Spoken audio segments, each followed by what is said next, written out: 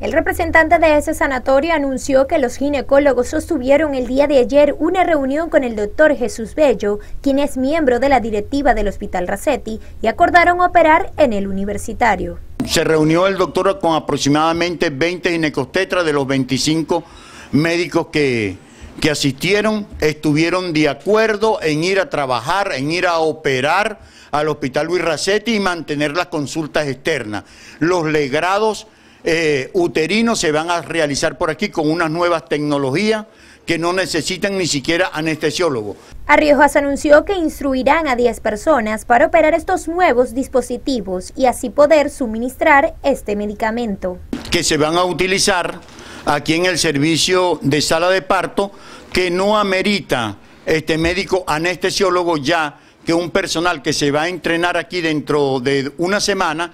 para dar la anestesia suficiente y necesaria para que se puedan utilizar estas cánulas de aspiración